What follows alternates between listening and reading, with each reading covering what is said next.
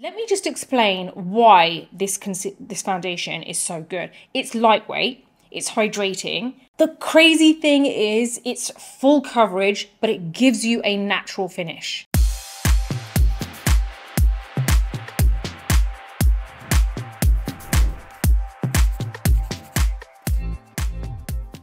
I'm Nina Ubhi and I'm a professional makeup artist and we're back with another educational beauty video today. Now in today's video I'm going to be showing you a foundation that I think you will it's the only one you need. Like I honestly love this and I can't wait to share it with you because it's new and it is honestly I would say one of the best foundations I've used. So to check out what it is and how it looks and how to apply it, keep watching. Now, if you like this video, please do give it a thumbs up. Don't forget to subscribe to my channel and hit the bell button so that you don't miss any of my future videos. And I'm over on Instagram, so please head over there and hit follow and show your support. Now let's jump straight into the video.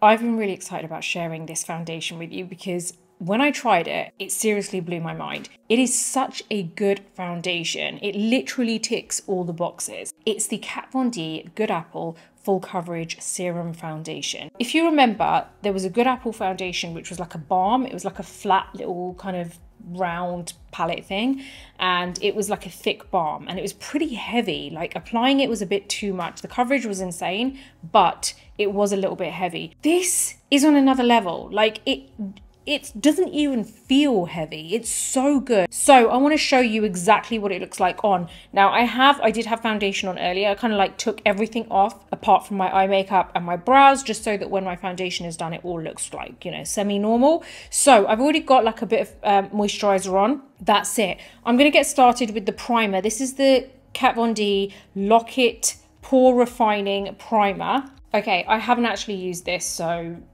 this is the first time for me using this primer. So I've just taken a little bit. It's like a pasty kind of white texture. Okay, I love pore refining primers. So I just, you know, I get really excited when I find new ones. So, okay, well, let's see what this looks like once I put the foundation on. Because I've already tried the foundation, but I haven't tried the primer. The primer is really cooling. It's almost like mint-like.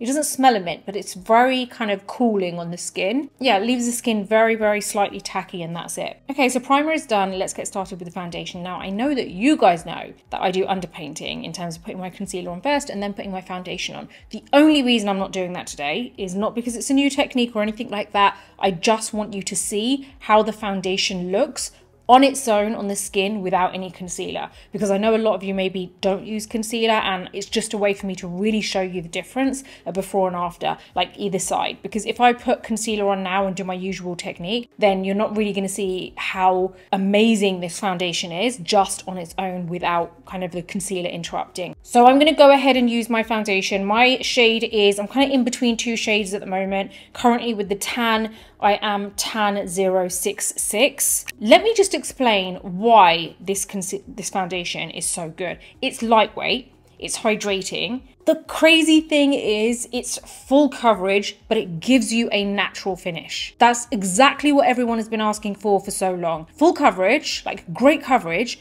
but natural looking. Now what I'm gonna do is apply it on either side of my face, but I'm gonna do it with different tools just so that you guys can see exactly how it looks on because I really wanna show you different ways of applying it because some of you may apply it with a brush, some of you may apply it with a sponge. Firstly, I wanna show you side by side like what it looks like on and what it looks like off so that you guys can really see if it's something you wanna get. Now I'm gonna go ahead and put a little bit on my brush. So I'm literally just kind of putting a little bit on my brush. My brush is my F47 from Sigma Beauty. Now I'm going to go ahead and do this side here and then you guys can really see what the difference is.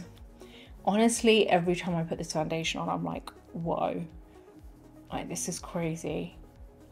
It's crazy how good this foundation is. Like your skin just looks amazing after. Are you seeing this?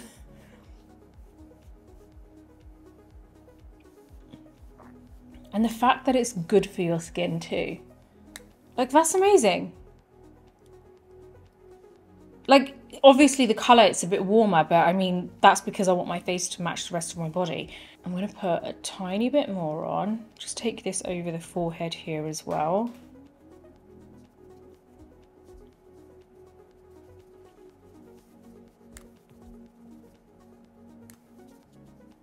You can really see the difference. I mean, I can, and I just can't believe how much of a difference this foundation makes without it looking heavy. I think that's the key thing here. That's what really sells this foundation and sets it apart from any other foundation that I've used. It's full coverage. It's amazing coverage, but your skin still looks natural. Like my skin does not look cakey whatsoever. It actually looks healthy. Like it actually looks glowing and but glowing in the right amount, you know, not like super shiny. I really want you guys to get a close up. I know my skin's not looking great at the moment, but this is with no foundation and this is with the foundation and it just evens everything out. The coverage is amazing and it's not even with concealer yet. So now I'm going to apply it to the other side and I'm going to use a sponge. So I'm just going to put a little bit to the back of my hands like that I've got my damp beauty blender. I'm going to just like apply this as I always apply my foundation. So I'm just going to like buff this into the skin.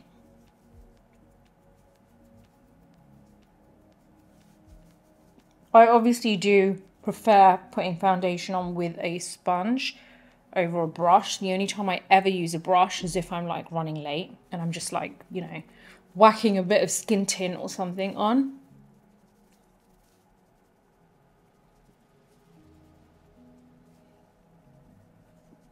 I feel like this is a foundation that I would be happy using on a natural look, but it gives me great coverage. You know, usually when you think of a natural look, you never kind of reach for your full coverage foundation because you just know it's just not going to look natural. But this is the great thing about this foundation is it genuinely looks natural on the skin and that's what I love about it. Like I love the fact my skin looks healthy. This is why I love applying it with a like sponge. Just to me, there's a big difference with how this side looks and how this side looks. I hope that in itself, apart from the foundation, really converts you from using a brush to using a sponge. But that wasn't the aim of the game today. What I'm trying to aim for is showing you how amazing this foundation really is. Now I'm going to go in with a concealer just so that we can, you can firstly see how the concealer looks and I can tell you what that feels like blending it in. And then we can also finish off with applying a little bit more foundation just over that concealer, you know, so to finish that whole underpainting technique that I couldn't show you from the beginning. So I'm going to go in with my concealer. This is the Good Apple Lightweight Full Coverage Concealer. Again, full coverage,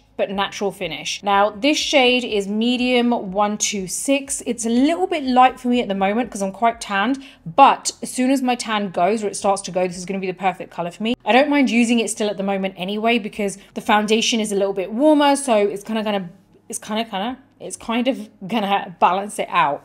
So I'm just gonna apply a little bit on my under eyes here not too much because it is a full coverage foundation, I mean concealer. Let's go ahead and buff this in. I feel like you're really going to be like shocked by the concealer as well. Like just the smallest amount gives you the most amazing coverage.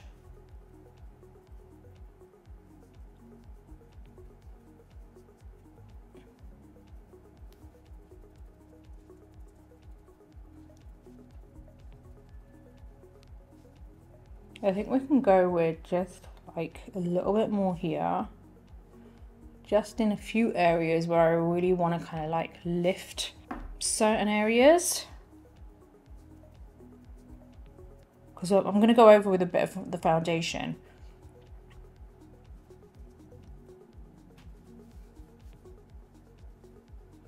I actually really would like to try the darker shade in the concealer just so that it's kind of, you know, like just the right shade for my skin tone currently. Let's go with a little bit more foundation and this is where I'm just going to like buff this over my concealer. This should kind of like even everything out because the concealer is a bit light for me at the moment.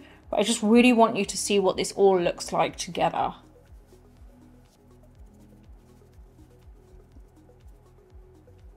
I just love this foundation. I think you guys are to love it. I know you guys. I know what you guys are like. Like, I see all your comments and I know what kind of stuff you like.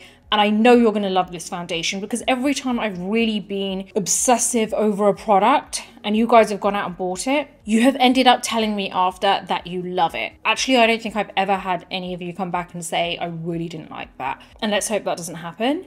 But, you know, sometimes something isn't going to always suit everyone. If it suits me or I love it, it doesn't mean everyone else is going to love it. So far, we've been doing pretty well, I think. As you can see, this is what it looks like. Now, if you want to, you could just set the areas that you want to set, you know, like just like the under eyes or the areas that you feel like not normally crease. And it's up to you what kind of powder you use. Now I'm going to use my usual powder, which is my Ben Nye Luxury Powder in Banana. And all I'm going to do first, so I've got my like powder puff from Laura Mercier, and then I've got my Beauty Blender, and I've got a bit of the powder in the palm of my hand. Now first I'm going to just get rid of any kind of creasing here because I can just see that it's just kind of building up. Get rid of anything that's kind of sitting in those lines. And then we're just going to go in with the powder and press it onto the under eye area. I'm just going to dust it off, whatever's like kind of there. And then use my Real Techniques brush. That was my veil brush from Hourglass, by the way, just to dust off that powder. And this is my Real Technique setting brush. And there you go, it's set. So you don't have to apply powder if you don't want to. I like to because I like everything to stay in place. But honestly, I really do hope that you've kind of like seen just how amazing this foundation is. Obviously, my brows and eyes and stuff are done. I don't have any kind of like bronzer on, so I'm just going to add a little bit. I'm just using my Island Ting from Fenty and my veil brush. And I'm just going to like just sculpt a little bit on this area here. Just bring it up here to just slim my face down a bit.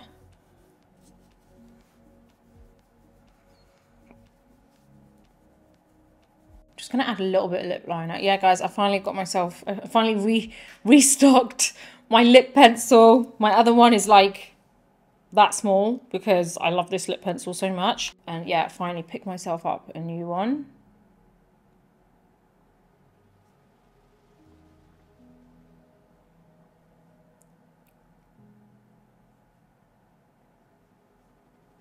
So now you can see what the foundation looks like. I've kind of like done a few other bits to my face. I don't know what's going on with my hair here. But yeah, let me just tell you a few key benefits of this foundation.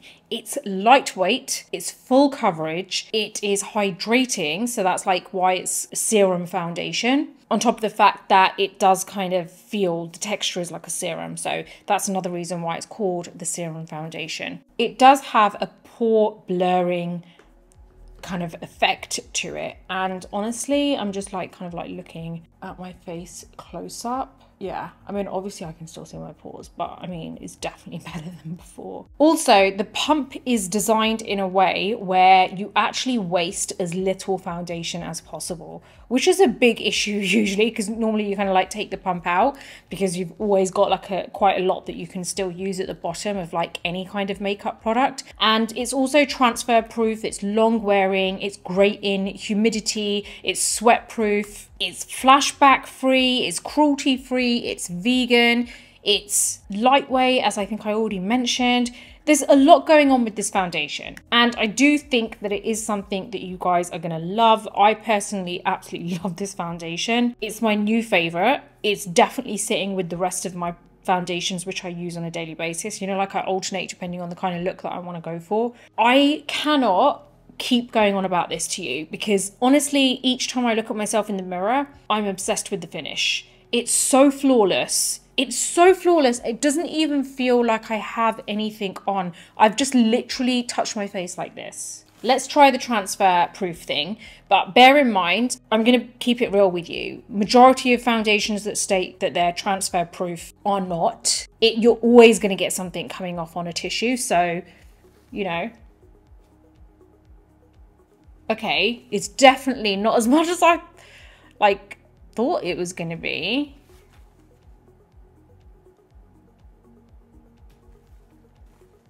Okay.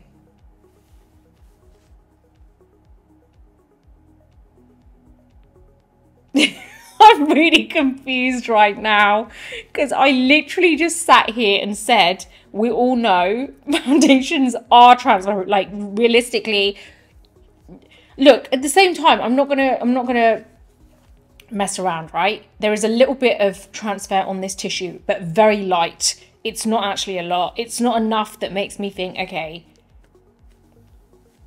you know and and yeah, it's it's good. It is good. It is really good. Another thing is there are 40 shades in this, which I think is great. Now, obviously, they sent me over the most amazing like set. I absolutely love it. And I don't think I've got all shades in there, but I've got a decent amount that they've put in there and I'm really thankful for that. But th- what they do also say is you can use a brush to kind of get immediate, like an immediate full coverage look. And then with a sponge, you can build it up. I personally feel that with a sponge, I get better coverage than with a brush. But I feel that anyway with any foundation. So that's just my personal preference. So I'm going to keep it real with you guys. Now, also, they do say that if you want to build it up, use one pump, like, and then you can build it up if you want to. And if you want immediate full coverage, then use two pumps and just like apply all of that. So I think it's really personal. It's really down to what you think works for your skin because everyone has different skin. So I can't really imagine that that instruction works for everyone. So yeah, realistically,